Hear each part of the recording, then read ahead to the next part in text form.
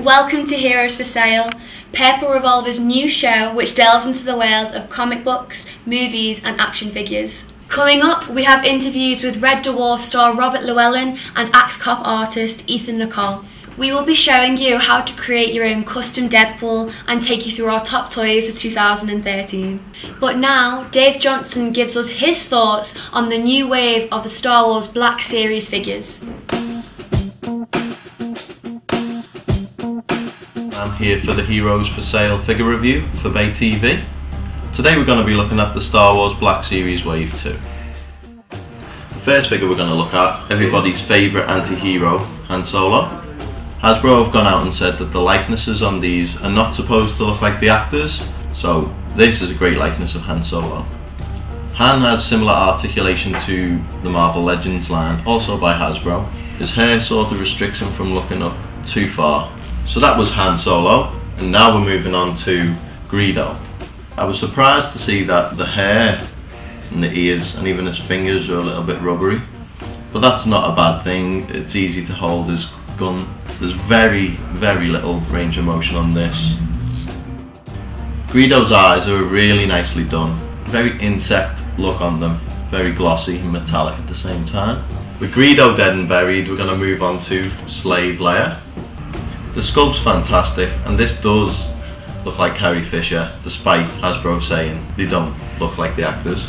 And you've got a lot of little intricate details, such as the ribbon on the, the bra, um, the details on the, the part of the loincloth. The ankles aren't quite as articulated as the others. It's designed so it is, but because of the sculpt of the way her boots are, they barely move. You will be happy to know she does gyrate with the ab crunch. Next up is the most anticipated figure in the whole line, but we're just thankful to finally have Boba Fett. The paintwork's fantastic on Boba Fett. You've got all the little intricate details, such as the yellow painting of the markings on his helmet, his emblems on his shoulder pads and on his chest. His clothes look dirty, similar to Greedo. They've done a nice paint wash on there. And then my favourite little detail is all the odd bits of battle damage to show that he really is a battle-worn warrior as we know him. Straight from the box, Boba includes his jetpack fitted to the hole on his back with a peg socket, blaster rifle, which is a bit of a nightmare to get him to hold, but he also comes with a smaller blaster as well. Obviously he's got this material piece of cloth which holds behind him, but this is really nice. It's a nice touch to what really is the best figure in the Black Series so far and my pick for number one figure of 2013. Thanks Dave. This year's Thought Bubble Comic Con was bigger than ever. We caught up with Kryten actor Robert Llewellyn.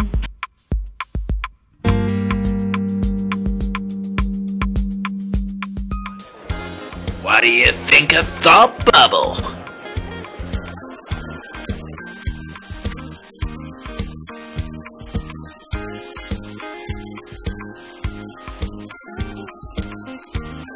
You read comics?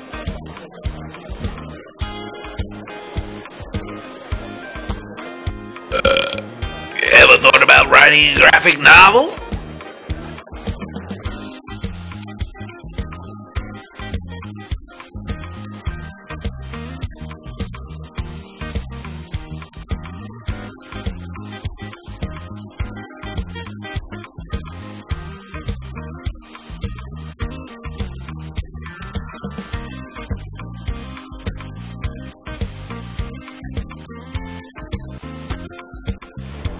About your book and what else is up, Hadron Head.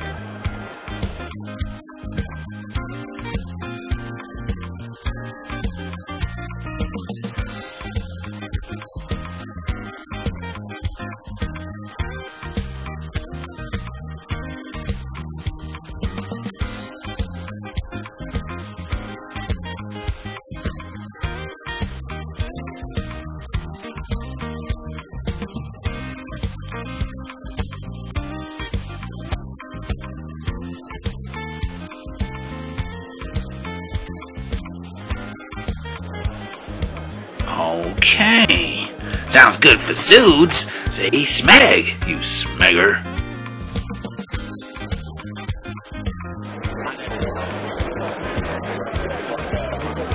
Thanks for talking to us, nipple nuts.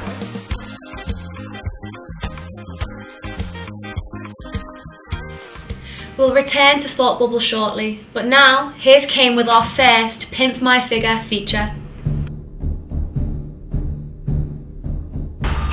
It's Kane with Heroes for Sale. I'm going to teach you how to turn your Deadpool into a custom. You're going to need uh, some paints, so any acrylic paints are good, uh, paint brushes, um, X-Acto knives, very good to get little bits off, and a Dremel. For this figure, I've decided to use uh, bits of fodder. Um, I've used the Aoma Sword Chief, uh, X-Men Classics uh, Gambit jacket, and a Jonah Hex um, rifle and the cowboy hat. Right, so I've got this revolver and I've got this holster of Deadpool. What I'm going to have to do is Dremel a hole in the bottom there so the revolver will fit. Right now we're going to remove the harness from the belt and we're going to just have to round this back off here to be ready for paint towards the end. Okay, so now the belt and the holster for the gun is done. We can put them to one side. I'm going to work on the arms of the figure, which I'm going to have to sand to help the paint stick to it better.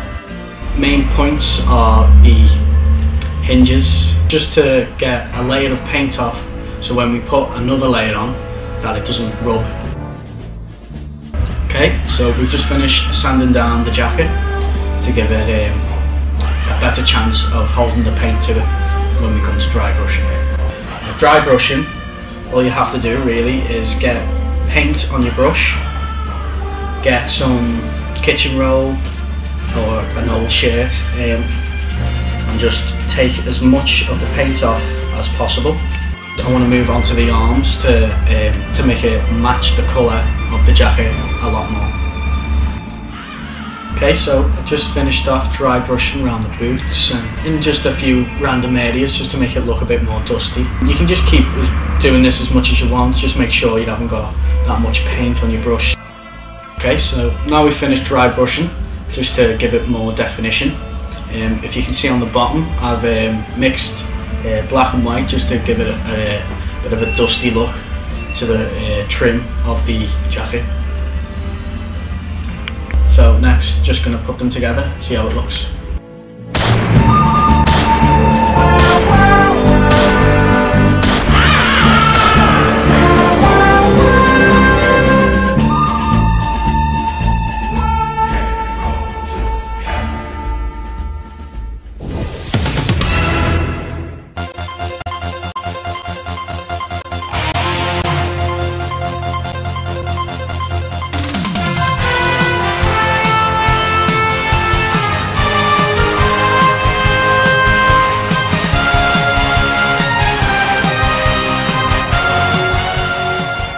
Deadpool, Liverpool, Deadpool, Liverpool.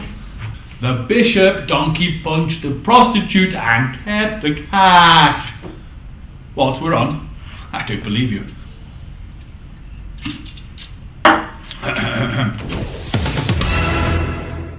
Hello, I'm Duke Thompson, and we interrupt this broadcast to bring you this news flash. Someone famous has died. We're not sure who it is yet, but the world of entertainment is in mourning for their fallen comrade, who we think died peacefully in their sleep. But we're yet to have that confirmed, and who it is, we don't yet know. Tonight's scheduled programme of TJ Hooker will be postponed, unless, of course, it was TJ Hooker who died. Now, in terms of this year's box office results in spandex, Marvel beat DC hands down. Here's some films we can all look forward to in the new year. Captain America The Winter Soldier, released in March, will see good old Cap give us 80s kids some nostalgia kicks by taking on the Ruskies. Remember when the Russians were the bad guys? Those were the days. Well, alright. That's all for now. Remember, kids, heroes for sale, ounce in the mail.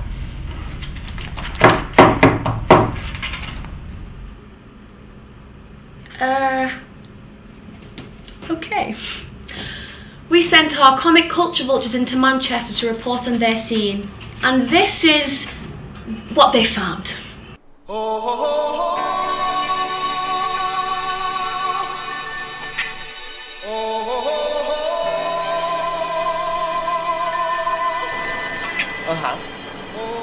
Ê,有冇模型公仔？ Well, yes.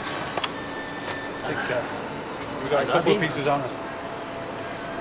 哦，上啦，呢个正。 All right. All right. Thanks very much. Elliot from Heroes to Sail. We've just been on an action figure hunt around Manchester today. Not much in the way of action figures, I'm afraid. So um, we had a look around the comic shops as well, because obviously I'm, I'm into my comics as well as the action figure crack. But uh, went into Travelling Man today, and I, I spoke to Haroon then.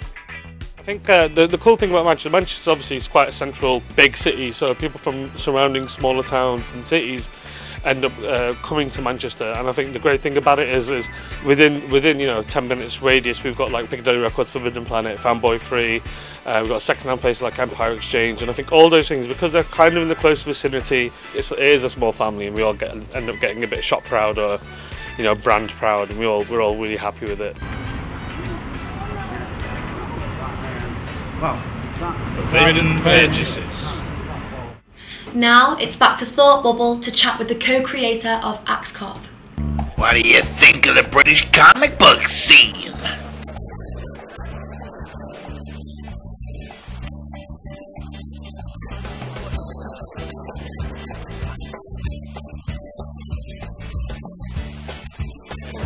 So, for people who aren't reading about Deadpool, tell us, where did the idea for Axe Cop come from?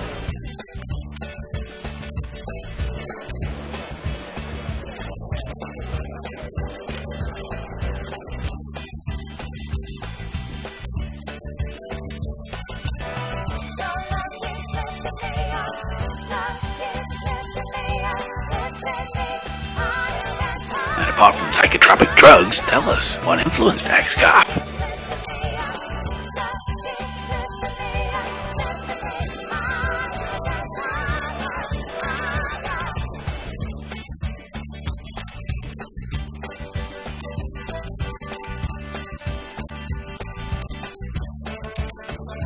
Ooh, uh, what's the writing process behind an Axe Cop story?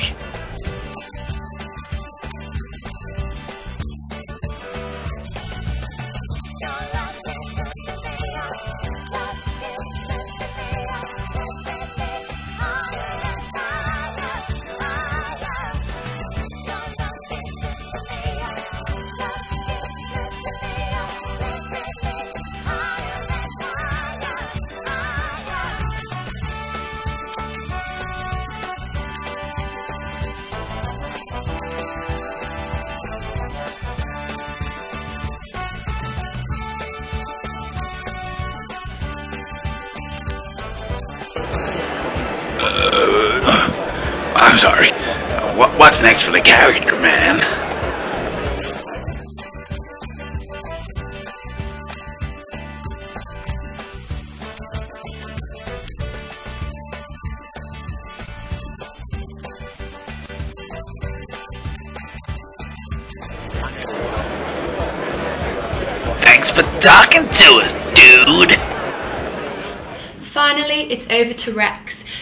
Casting a critical eye over the highlights of 2013 and picking out his top figures of the year. I'm Katie Kneen. You're welcome.